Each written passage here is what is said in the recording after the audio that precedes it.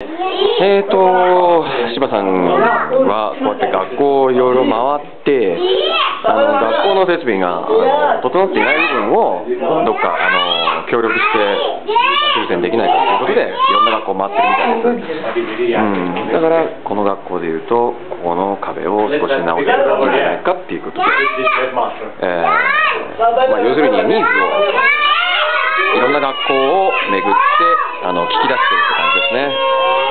は Last uh, two years ago, we had a Japanese student, い。いや and they brought some dresses, dresses. あは So we distribute here. Yeah, All the yeah. ん。But they want this time うんふん。to plaster い the やいやいやいや。building うん inside. ふん。いや。So they will have nice. Yes. うんふん。I see, I I understood. like that. うんふん。ということだそうです。うんうん。かわいい。キュー。ただいま、英語の授業中です。この国では語の教育に熱が入っているようです。うん、かわいい子たちだ。